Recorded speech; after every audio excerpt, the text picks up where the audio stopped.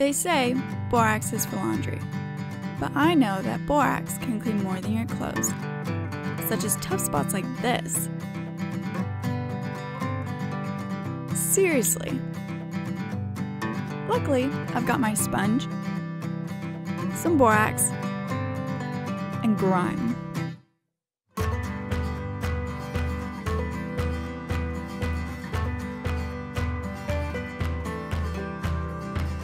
And now the part everybody loves. Get the borax right in there. Let it sit for about a half an hour.